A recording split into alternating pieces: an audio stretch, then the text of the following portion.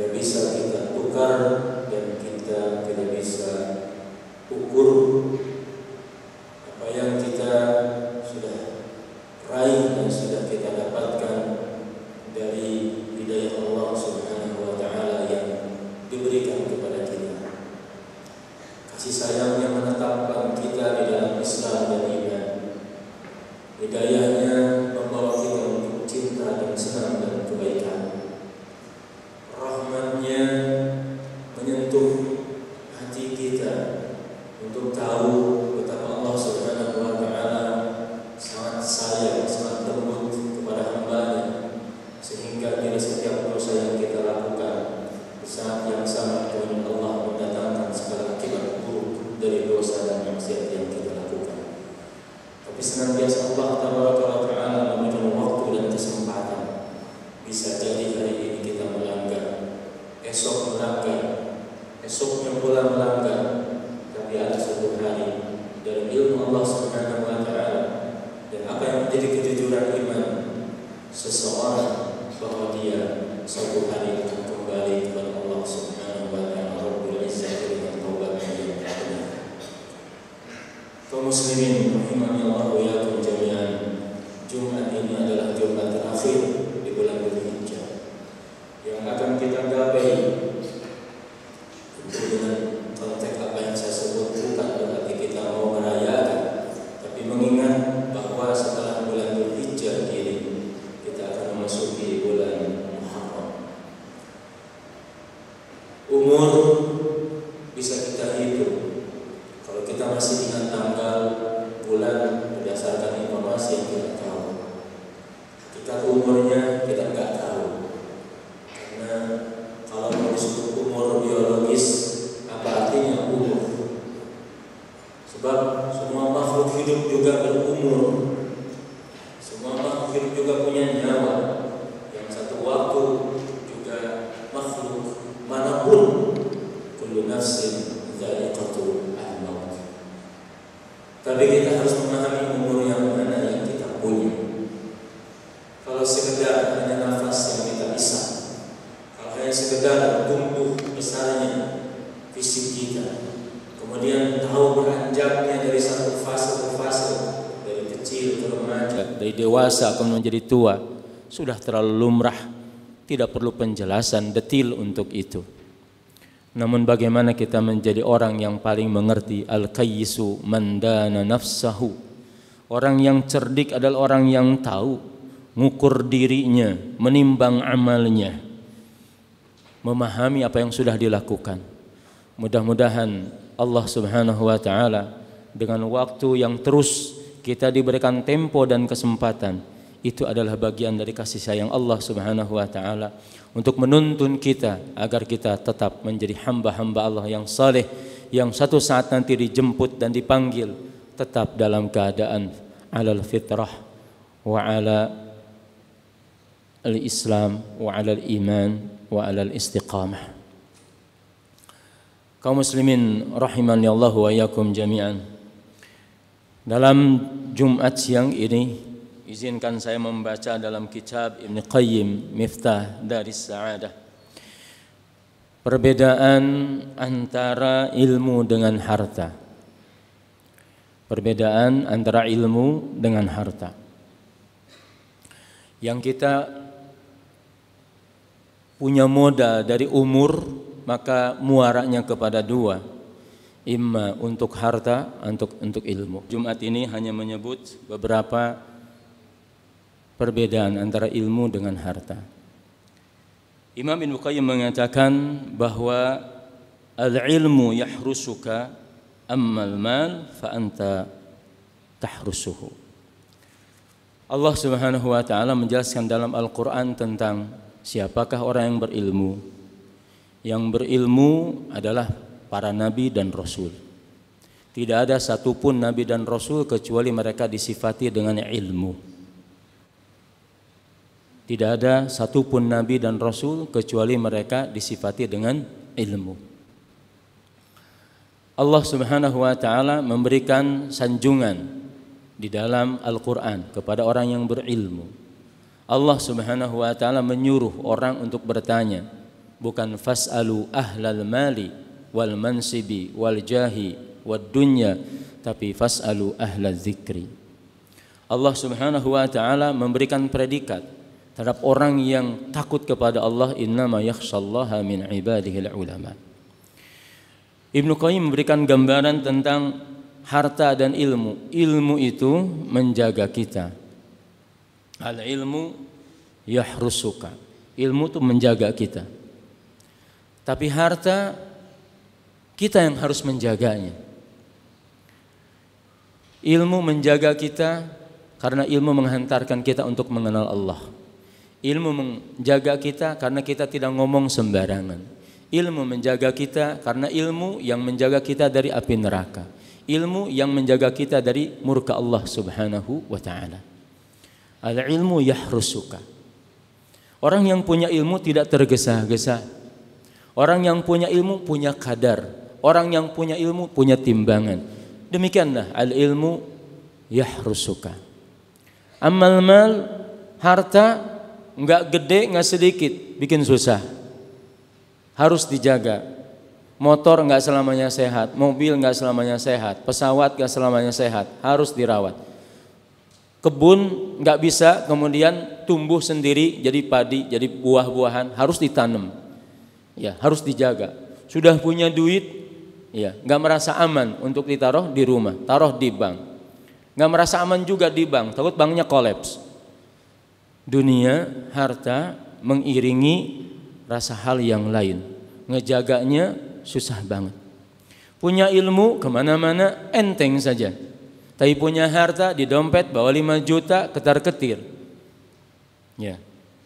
Hal ilmu yahrusuka ammal mal fa anta ya tahrusuhu kalau kamu kalau kita enggak bisa jaga kita nyari orang lain yang bisa jaga harta harta kita maka anak-anakku sekalian ya kita semua tidak ada yang dikecualikan untuk kita menjadi orang yang dijaga oleh ilmu kita siapa pun dari kita oleh karenanya maka dekatlah dengan tempat ilmu sumber ilmu ya kita harus berada di tengah-tengah situasi yang penuh dengan keilmuan, suasana keilmuan. Ya. Orang-orang yang berilmu, situasi yang berilmu, kondisi yang berilmu, majlis ilm, jangan tinggalkan majlis ilm. Ya. Ada orang mengatakan cukup saya mendengarkan nasihat dari YouTube, dari medsos. Enggak cukup. Tajlis wa ta'ti anta ila majlisil ilm tatalaqqa min afwahi al-asatidah wal masyayikh. Tidak cukup datangi majelis ilm, dengarkan itu petuah ustadz itu. Jangan jauh.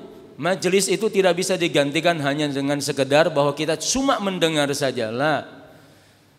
Oleh karenanya maka kita bukan hanya sekedar tahu bahwa ilmu itu menjaga kita, tapi carilah ilmu itu kun anta lil ilmi taliban wa kun anta lil ilmi radiyan wa kun anta lil ilmi mujtahidan wa kun anta lil ilmi mukhlisan wa kun anta lil ilmi badilan kulla syai ayo semuanya untuk ilmu kita harus menjadi orang yang paling ikhlas yang paling ridho yang paling capek yang paling serius ya capek kita dikejar-kejar harta capek juga kita ngejar-ngejar harta ilmu tidak membuat capek.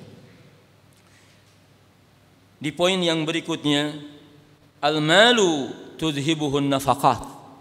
harta dikumpulin, sudah dikumpulin, tidak pernah kemudian bisa tambah banyak. Karena memang harus dikeluarin juga. Udah capek sebulan kerja, ya, kemudian dapat, ya, dalam beberapa hari sudah bisa habis, bahkan sehari mungkin bisa dihabiskan. Itu harta. Sebanyak apa pun bisa. Ya, berkurang dan berkurang terus. Amal ma amal ilm fayazku fin nafaqati wa yatadha'af wa yuthmir. Tapi ilmu subhanallah. Orang nambah ilmu ya, ilmu itu tidak akan pernah berkurang apalagi kalau kita zakatkan, apalagi kalau kita amalkan, apalagi kalau kita ajarkan. Maka di poin yang kedua ini ya, ilmu itu tidak akan pernah berkurang guru ngajarkan ilmunya, ilmunya tidak akan habis. Kita punya duit 5 miliar, tiap hari dibelanjakan, habis. Ilmu ngajarin alif, ngajarin ba tidak akan pernah habis. Daripada habis kemudian malah bertambah. Semoga Allah Subhanahu wa taala memberikan taufik kepada kita semua untuk kita tahu bahwa kita jangan kemudian tidak menjadi ahlul ilmi. Ya. Dikatakan dalam hadis kalau kita tidak bisa menjadi ahlul ilmi, orang menjadi ulama, ya jadi orang yang belajar. Kalau enggak jadi belajar, ya minimal kita sering mendengar. Kalau enggak jadi mendengar, ya kita menjadi orang yang mencintai ilmu. Yang terakhir, di antara 24 yang disebut oleh Imam Ibnu Qayyim, saya tidak akan menyebut semuanya.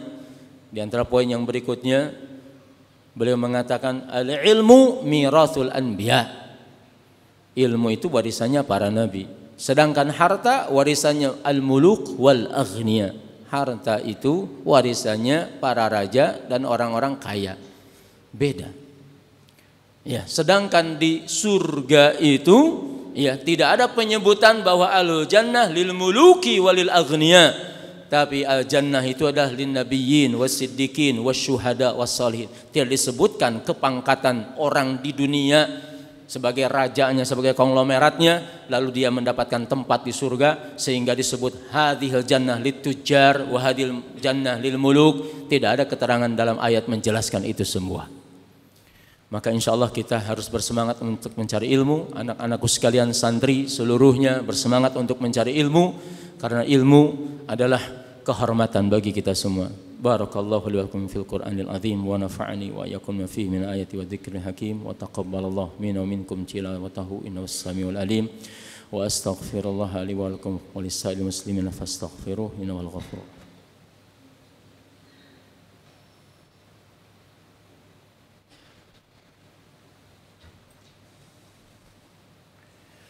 الحمد لله الذي هدانا لهذا وما كنا لنهتدي لولا أن هدانا الله أشهد أن لا إله إلا الله وحده لا شريك له وأشهد أن محمدا عبده ورسوله وبعد Di khutbah yang kedua saya tambah satu bahwa al-mal harta itu lil mu'mini wal kafir. Harta itu Allah berikan untuk orang mukmin maupun orang kafir untuk orang yang celaka, untuk orang yang bahagia, untuk orang siapa pun Allah kasih al-mal. Walakin ilma ya, tapi ilmu tidak Allah berikan kecuali untuk orang yang beriman. Kalau ada orang yang masih bangga sampai kemudian susah hidupnya karena mencari harta, dia sudah susah kemudian tidak dapatkan, kemudian memang Allah Subhanahu wa taala tidak memberikan bahagianya di dalam apa yang dia cari karena memang bahagia bukan dengan harta. Bahagia itu dengan ilmu.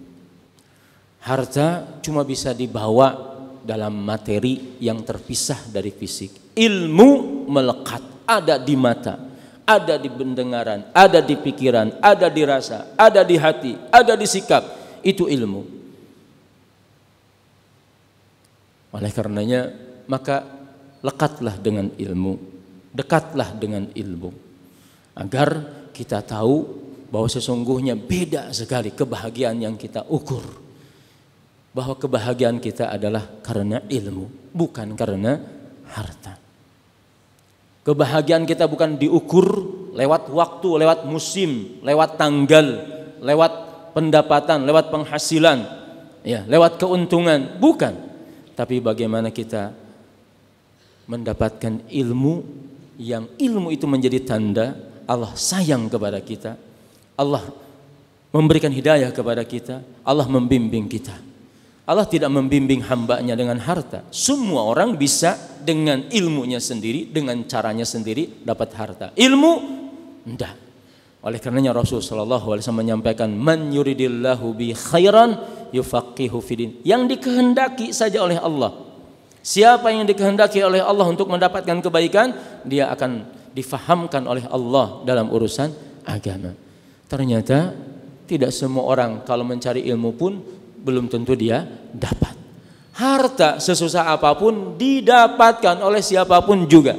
Harta didapatkan oleh siapa pun dengan cara yang paling mudah. Ilmu kadang dengan yang cara paling susah pun belum tentu.